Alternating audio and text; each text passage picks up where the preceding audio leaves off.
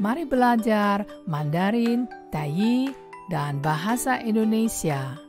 练邓国台印台湾谚语篇 Edisi Pepatah Taiwan.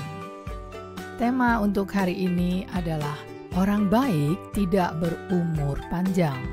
Hao ren bu chang ming. 好人不长命 Kayaknya kesan seperti ini ada di mancanegara sebab kita semua adalah manusia bukan?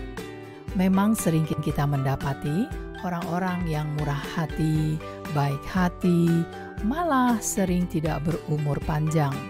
Belum tentu karena sakit, tiba-tiba wafat dalam tidurnya.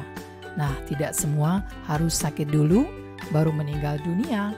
Dalam pepatah orang-orang terdahulu memang sering mengatakan bahwa orang yang hatinya jahat umurnya panjang. Dan mungkin saja benar, sebab yang Maha Kuasa menunggunya untuk tobat dan sadar.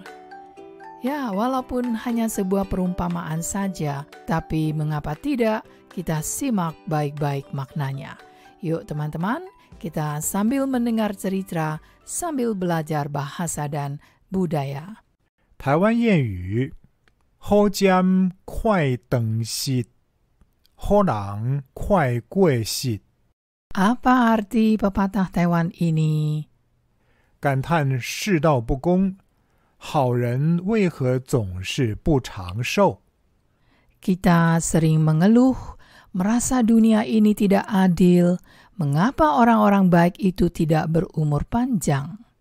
Padanan dalam pepatah Mandarin. 中文谚语： 好人不长命。Orang baik tidak berumur panjang.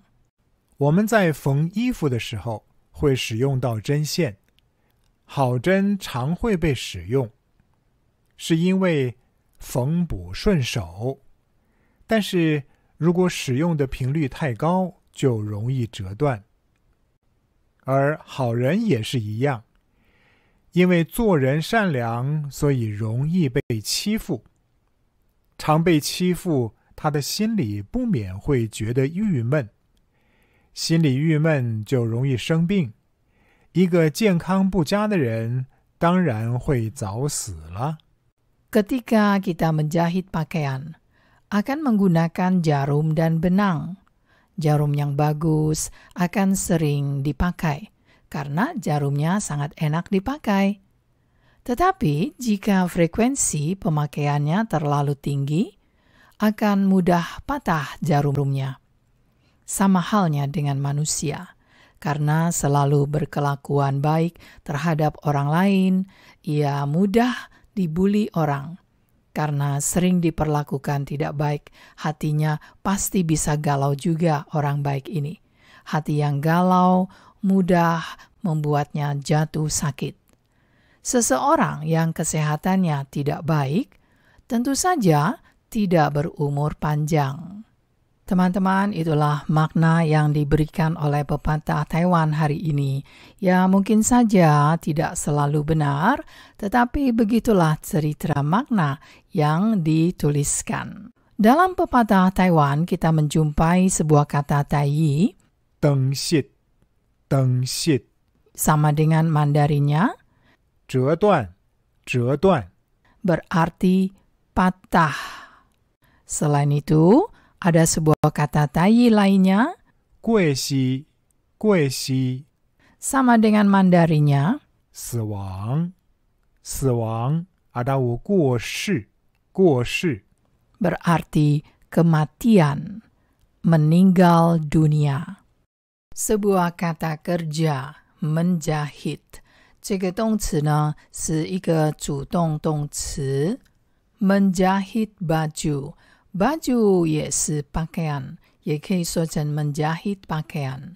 缝衣服，缝衣服，大概是天衫，天衫，Kata kerja tambal sulam. 缝补，缝补，大概是补天，补天，针线，针线，大概是针线，针线。Kata benda 名词呢，nominanya jarum benang. Jarum benang. Mudah patah. 容易折断，容易折断，大概是容易断去，容易断去，啊，到有较紧断去，较紧断去。 Di sini kita menemukan sebuah kata rongi, mudah. Sebenarnya juga bisa kita katakan gampang. 比较口语化一点的呢，就是用 gampang, gampang patah, g a m gam pang p a n g pang gampang 两个音节，gampang 也就是mudah 很容易的意思。 frequency 频率，频率，大概是频率，频率。 orang baik 好人，好人，大概是好人，好人。 baik hati, soleh, atau sebagai kata kerja, berbaik hati, 善良， 善良，大概是善良，善良。Dalam cerita tadi kita menemukan kata dibully sama dengan dianiaya。这个 bully 呢还是口语，所以在字典里面呢还是没有找到。所以 dianiaya 其实就像这个 bully 霸凌，也就是被欺负，被欺负，大概是人欺负，互人欺负。在这里呢，我们会发现到是有这个 d 字首 d aniaya d bully，因为是被动动词，所以是用这个 d 字首。mudah sakit 容易生病，容易生病，但其是容易破病，容易破病，啊，到有较紧破病，较紧破病。nomina kesehatan sehat 健康，健康，大概是健康，健康。suatu keadaan 一种情形 tidak baik tidak dalam kondisi prima 不佳，不佳，大概是无好，无好。